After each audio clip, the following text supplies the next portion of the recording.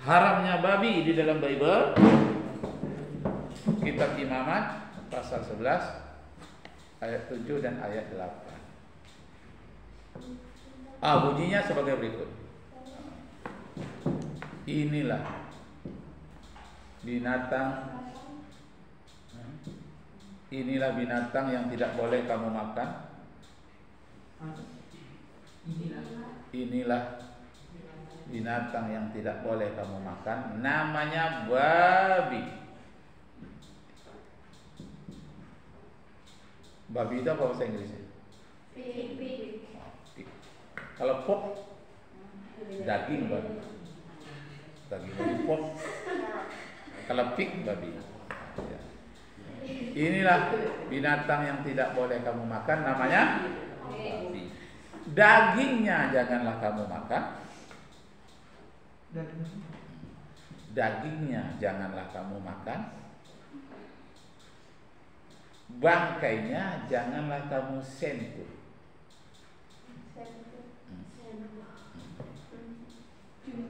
Ya pakai gaya Batak Kalau sentuh pakai gaya Melayu. Dagingnya janganlah kamu makan. Bangkainya janganlah kamu sentuh. Sentuh. Sentuh, sentuh. Yang disentuh. Ya, dagingnya jangan kamu sentuh. Haramlah itu semuanya bagimu. Haramlah itu semua bagimu. Kalau di ayat Qur'annya kan saya sudah tahu kan tentang haramnya babi. sudah? Urimat alaikumul maitatu Walahmul khinzir. Diharamkan bagimu Darah Bangkai daging babi. Khinzir? Babi.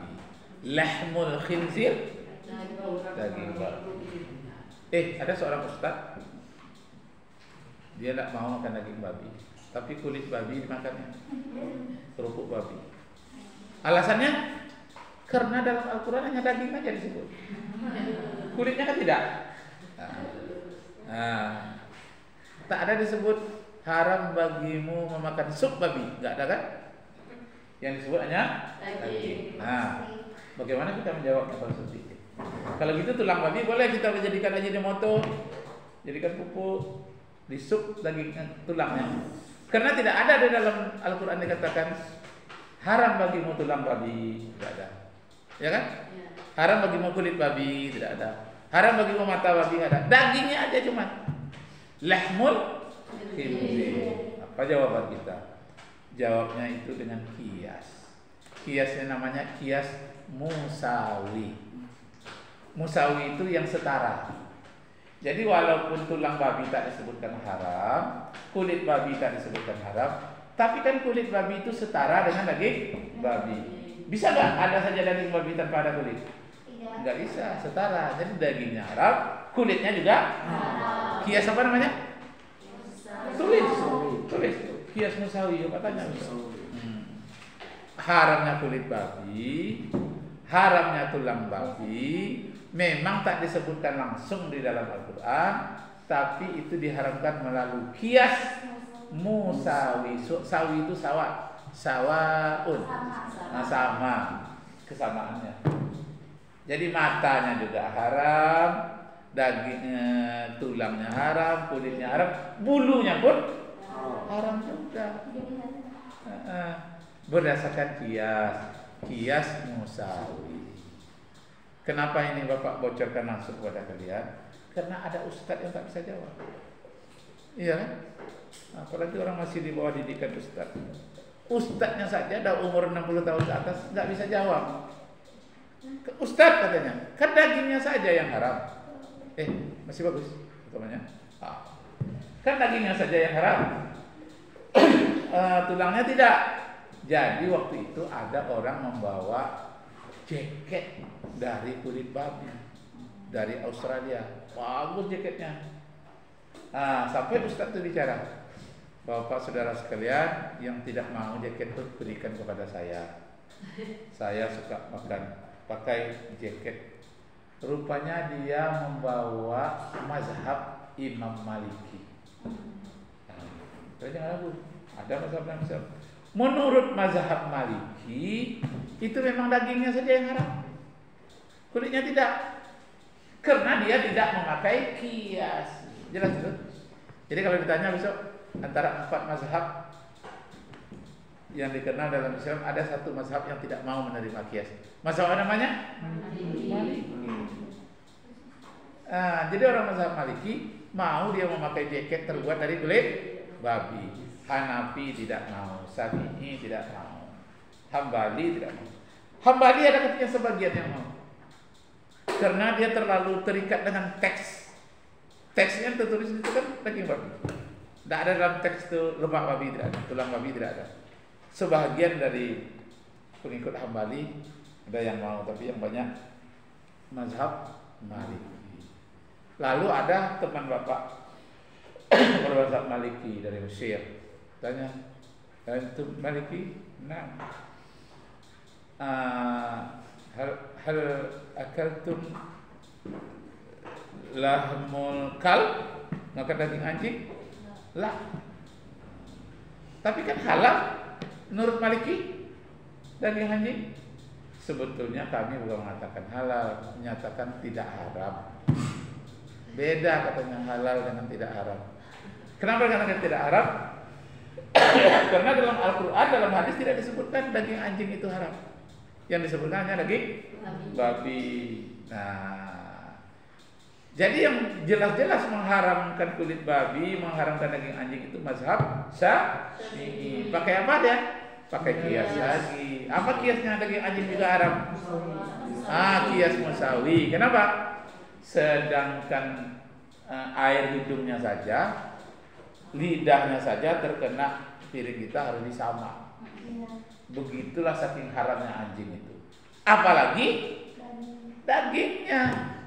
Sedangkan air liurnya saja itu sudah haram. Maka walaupun tak tertulis haramnya anjing di dalam Quran, di dalam hadis, tapi dia tetap haram berdasarkan ah bukan musawi lagi kalau daging anjing kalau kulit babi tadi kias musawi bersamaan. Kalau daging anjing namanya kias aulawi. Apa? Ah, aulawi itu artinya lebih-lebih lagi. Aulawi. Sedangkan air liur, sedangkan gilatannya saja harus disamak, lebih-lebih lagi dagingnya. Haram lah, bagaimana mau nyemaknya dalam perut kita? Kita makan tidak bisa. Karena itu jangan dimakan daging anjing. Jadi yang jelas-jelas mengharamkan daging anjing itu mazhab Syafi'i. Berdasarkan kias apa daging anjing? Aulawi. Kalau kulit babi tadi haram berdasarkan kias apa? Musawi. Nah, makanya dasar untuk Islam itu ada Al-Qur'an, ada hadis, ada ijma, ada kias. Kalau tidak ada kias, eh kita makan daging anjing aja semua. Makin jaket babi lah kita semua kalau tidak ada kias. Imam Syafi'i ini lebih tinggi jenius, lebih tinggi tingkat kealimannya, lebih jenius, lebih mengerti dan lebih paham. Dia menciptakan usul fikih agar orang jangan tersesat. Orang Barat pun tidak mau makan daging anjing. Orang Barat Kristen, eh, teman bapak datang ke Indonesia ini, orang Amerika, namanya Matthew apa katanya? Orang Kristen di Indonesia ini makan daging anjing ya gitu. Oh, kalian di barat kan Kristen juga tidak ada kami makan daging anjing katanya. Daripada saya makan daging anjing lebih baik saya masuk Islam katanya. Nah, kalau udah masuk Islam baru tak disuruh makan daging anjing biar saya masuk Islam katanya. Begitulah dia tidak mau makan daging anjing. Tapi untuk memegang-megang anjing tidak apa. Sebab anjing bagi dia bukan binatang ternak tapi anjing adalah binatang peliharaan. Beda ternak dengan peliharaan. Yang ternak itu kambing, sapi, yang binatang ternak. Tapi kalau anjing itu menjadi teman peliharaan katanya. Itu beda. Kemudian menurut ilmu kesehatan juga daging anjing tidak ada sehatnya sama sekali. Bahkan sekarang itu untuk tingkat dunia sekarang sudah dibuat undang-undang siapa yang memakan daging anjing dihukum karena dia bukan binatang ternak. Anjing itu adalah binatang peliharaan. Yang binatang peliharaan itu kucing dan anjing. Jadi kucing tak boleh dimakan, anjing juga tidak boleh dimakan. Menurut ilmu kesehatan. Jadi ada teman bapak orang Tanjung Pinang pacaran dia dekat pantai itu lalu duduk berdua seorang gadis cantik dia cerita sama bapak tahun 85 tuh. Bang saya kemarin tuh ada pacar bang di Tanjung Pinang. Cantik budak cantik macam mana? Pokoknya hidungnya mancung orang yang putih. Aku tertarik sangat lah. Tapi sudah itu bang Aku putus kata mau ketemu dengan dia lagi. Kenapa? Ada bintik-bintik sikit dekat, dekat tangannya ni sampai dekat leher ada bintik-bintik kecil-kecil. Aku tengok, eh kau secantik ini ada bintik-bintik di sini ya, pasti kau makan daging anjing. Iya kan? Ngaku dia. Iya bang. Kenapa? Karena ayah ibuku orang Manado katanya. Biasa makan anjing itu, apalagi anjing hitam. Rupanya tak cocok dengan aku, tak sesuai. Semenjak itu katanya tak hilang cantiknya dari mataku. Tak pernah lagi berjumpa dengan dia. Karena dia makan daging anjing. Nah, rupanya daging anjing itu tak sehat sama sekali. Ah, kalau daging babi juga cuma bagi orang yang mengatakan babi dimakan itu padahal sudah jelas ayatnya itu tadi itu katanya ditambah ujungnya nah, supaya halal kan jelas kan namanya babi. Binatang ini jangan kamu makan namanya babi. Terjemahan baru ditambah. Supaya halal babi itu apa? Jelas. Tuh. Ah, contoh Cara menghalalkan babi tadi caranya ditambah dengan kata hutan. Jadi inilah binatang yang tak boleh kamu makan namanya babi hutan. Nah, jadi kalau babi peliharaan boleh. Boleh. babi hutan yang tidak boleh. Ah, besok-besok lagi ada rencananya ditambah lagi supaya halal semuanya. Inilah binatang yang tidak boleh kamu makan yaitu babi hutan yang berwarna merah. Kata ada yang warna merah kan? Nah, warna hitam ada putih belang-belang ada. Nah, itu saja yang tak boleh makan yang warna merah. Akhirnya seluruhnya bisa dimakan. Nah, itu pekerjaan sebahagian dari orang liberal itu. Liberal itu berpikiran serba bebas di pretelinya. Bagaimana supaya daging babi tadi bisa dimakan. Itu cara yang pertama ditambah ujungnya, ditambah terus sampai akhirnya bisa dimakan. Diharamkan kepadamu makan daging babi hutan yang berwarna merah. Nah, so ya, besok kali besok lagi kalau belum dewasa ah, kalau belum dimasak maka baru harap kalau sudah dewasa mau bikin sate akhirnya semuanya jadi bahaya itu. Jangan juga seperti pepatah Minang yang diselewengkan. Jangan mencopet kecuali terpaksa berarti boleh lagi ya? Kalau terpaksa boleh mencopet. Jangan mencopet kecuali terpaksa. Jadi larian anak orang kecuali suku sama suku. Ah, berarti boleh itu? Melarikan anak gadis orang. Nah, jangan dilarian anak gadis orang kecuali suku sama suku. ah, akhirnya boleh melarikan jadinya. Berarti ketiga apa? Jangan diterima amplop sogok kecuali isinya. Jadi amplopnya nggak bisa diterima. Isinya boleh ya itu humor kalau disebut ya nah, itu gadia namanya tuh nah itu gadia namanya licik filsafatnya nah jangan seperti itu ya tapi ada nah kalau kau pergi merantau jangan lupa sholat dan silat sholat tuh untuk dekat pada Tuhan silat tuh mana ada musuh nanti yang memfitnah kita jadi kalau yang merantau nah Ah, harus pandai sholat, pandai bersilat. Itu kan bagus. Itu dulu. Kalau sekarang dah apa? jangan mencopet anak kecuali terpaksa. jangan lari jangan orang kecuali suka sama suka. Jangan diterima amplop sama kecuali isinya. Yang mempopulerkan orang Jakarta pula selama bapak di Sumatera Barat tak populer sama sekali. Tapi di Jawa populer. Sampai pun ada menteri yang mengucapkan itu dia orang Jawa. Nah, diucapkan itu. Kenapa? Karena asing di telinganya dan hatinya tidak bisa menerima seperti itu. Nah, itu ya. Eh kita sudah membaca ayat tadi belum? Belum. sudah membaca surah Al-Hasr pernah baca? Oh, Bapak baca sedikit ya. A'udzubillahi minasyaitonirrajim.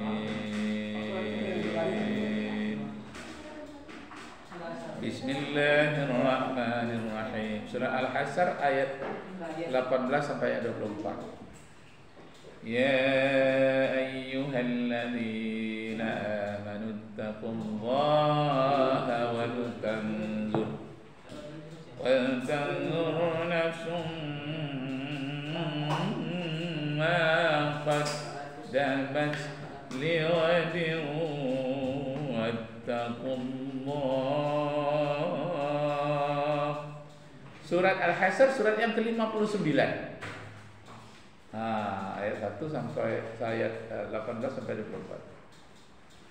Inna Allah khabirun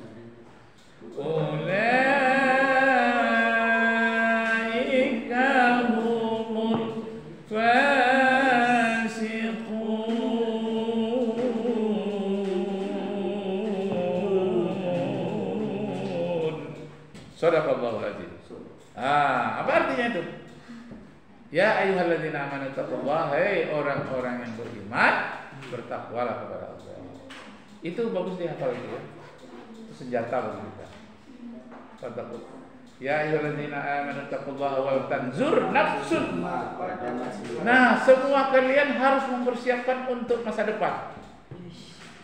Wal tanzur itu wajib kalian memperhatikan. Lihat rajin itu masa depan. Wattaqullah oleh sebab itu bertakwalah kepada Allah. Kenapa?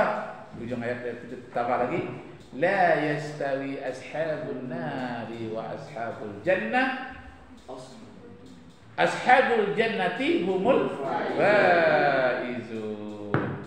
Kalian sudah bisa seni semua kan? Sudah belajar kan? Sudah kan? Oh, moral biasa. Wajib itu. Sekaligus harus mencintai seni Al-Qur'an. Sambil duduk-duduk kalian di bank sampai menunggu uang. Nah, baca. Yuh.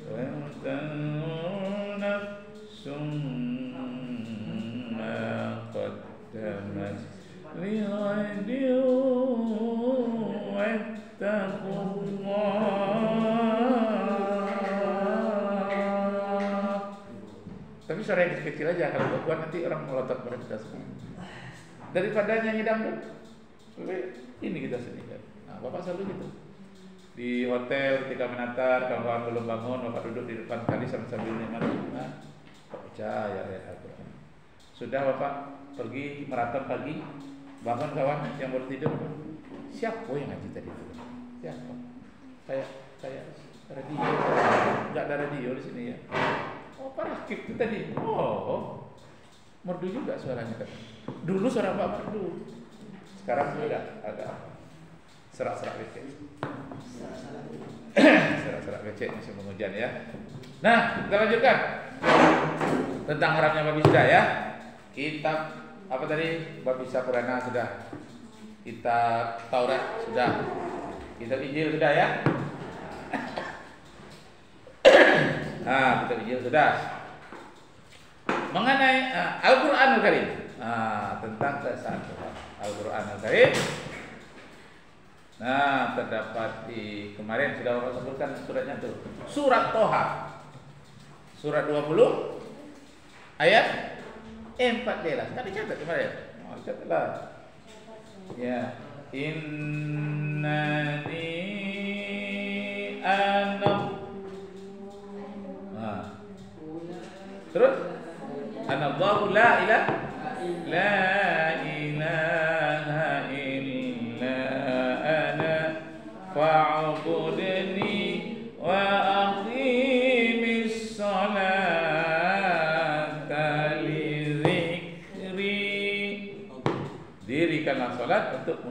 Nah, cukup bahasan kita satu. Kita akan masuk bahasan yang baru karena minggu depan kita akan oh, UTS.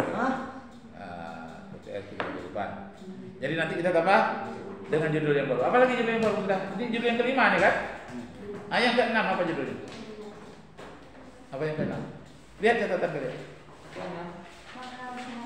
Ah, ah itu makna syahadatain ya. Makna syahadat. Hah? Konsekuensinya. Ah, konsekuensinya syahadat. Konsekuensinya tuh akibatnya apa? Artinya kewajiban kita apa kalau kita sudah mengucapkan syahadat? Ada konsekuensinya. Ada risikonya.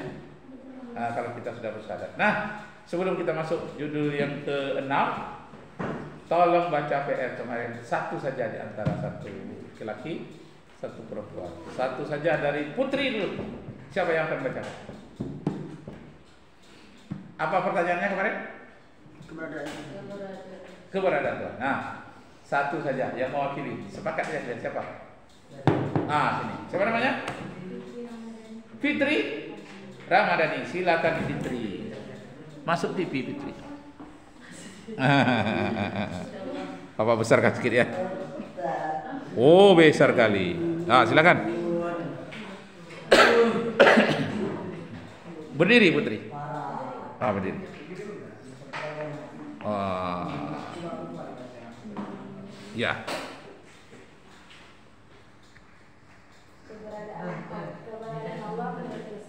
Ya. Masalah tentang keberadaan Allah Subhanahu wa taala sudah nyata bahkan suatu hakikat yang tidak perlu lagi diragukan keberadaannya. Ya. Persoalan tentang keberadaan Allah Taala adalah terang benderang bagaikan cahaya fajar di waktu pagi yang cerah. Semua yang ada di lingkungan lingkungan alam semesta ini pun dapat digunakan sebagai bukti tentang adanya Tuhan. Oh, mantap. Itu membuktikan bahwa benda-benda itu pasti ada penciptanya Ya. dan pengaturnya.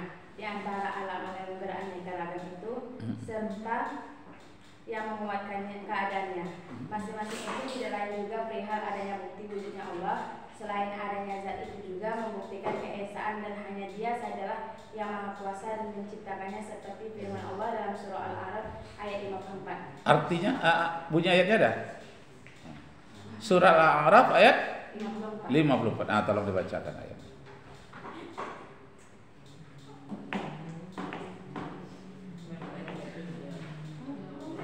Ah.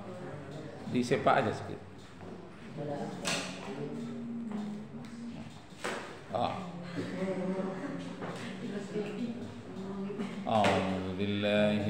الشيطان الرجيم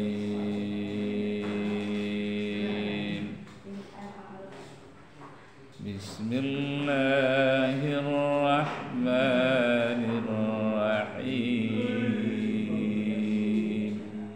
Ketemu? Ah, baca. Duduk aja, enggak apa-apa.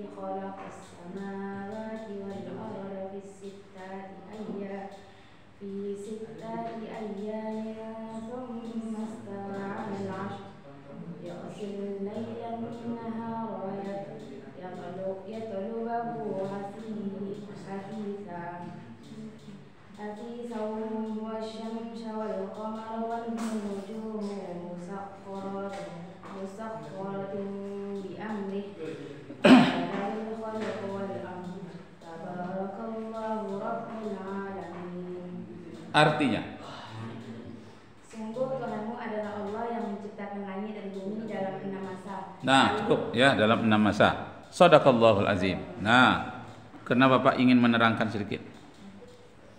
Jadi kalau ditanya orang besok Al-Quran kalian tuh mengatakan Langit dan bumi diciptakan dalam enam masa Ayam itu artinya hari Kalau yaumin hari yang singkat Dia ayam hari-hari yang sangat panjang Maka disebut masa yang sangat panjang Jadi awal pertamanya alam semesta itu dia dari asap ya dari cahaya Nur ala nur Nah, itu tahap pertama. Tahap kedua, alam semesta ini diciptakan dari asap. Nah, summastawa ila dukhan. Asap. Yang ketiga, penggumpalan asap.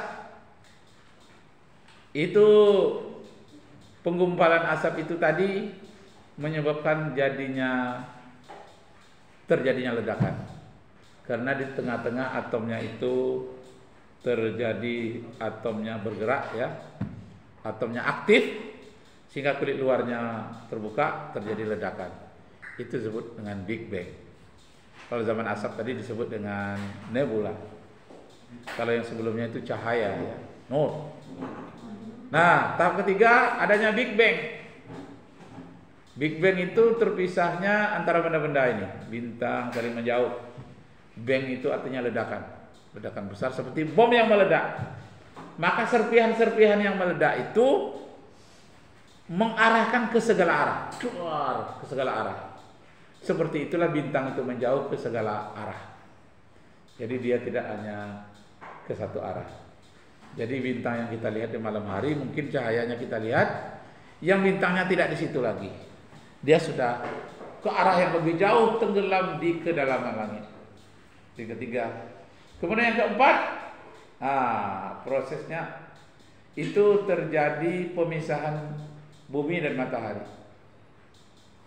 Matahari itu bintang yang kecil berpisah dengan bumi. Surat Al-Anbiya ayat 30. Awalam yarul ladzina kafaru anna samawati wal arda kanata ratqan fafataqnahuma wa ja'alna minal ma'i ala kulli syai'in hayyin afala yu'minun. Terpisah dari bumi, matahari terpisah dari bumi, lalu bumi mengandung air diberi oleh Allah air ke bumi. Maka planet bumi disebut dengan planet air. Air di mana-mana. Udara pun mengandung air. Tumbuh-tumbuhan pun mengandung air. Bumi kelihatan tanah di bawahnya ada air.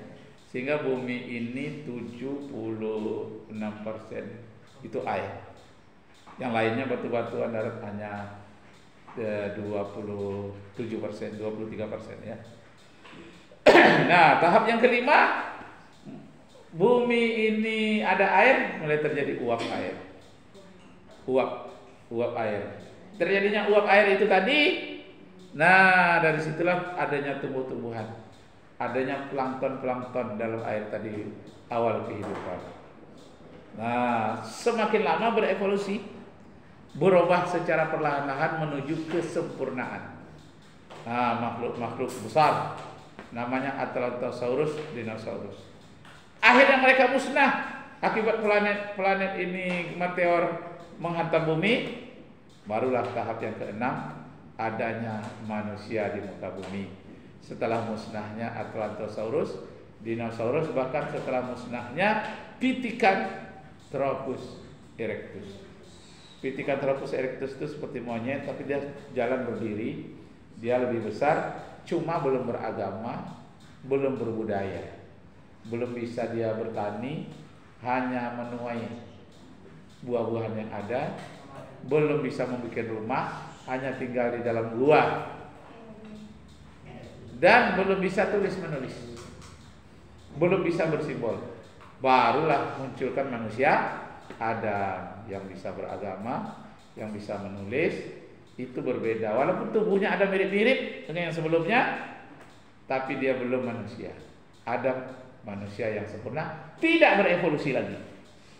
Jadi berevolusi itu hanya menjelang lahirnya Adam. Itulah di dalam surah Al-Insan ayat 1. Hal ada alal insani hinum minad dahri lam yakun say'am mazkura suatu masa dahulu sudah ada makhluk yang mirip-mirip manusia tapi belum dapat disebut sebagai manusia. Nah, itulah enam masa. Oke, yang laki-laki, yang putra, tolong baca. Tugas satu orang yang mewakili. Siapa yang akan membacakan? Bukti adanya Tuhan. Ah, berdiri. Berdiri. Stand up please. Stand up. Silakan. Siapa yang baca ini?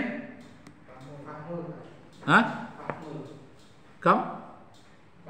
Pahmul. Pahmul ya, Pahmul orang yang memahami. Silakan Pahmul.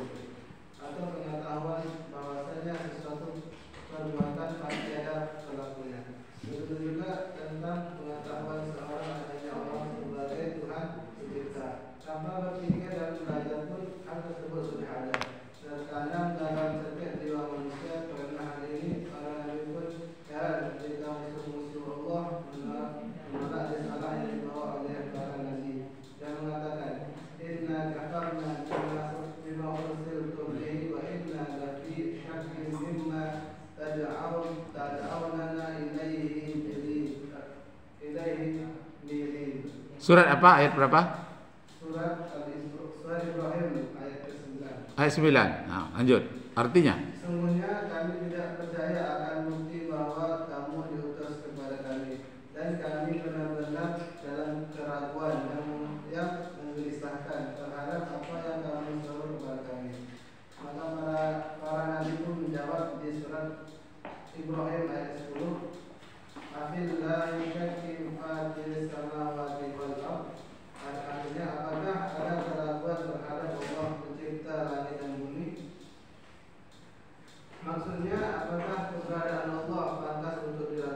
Nah, cukup ya.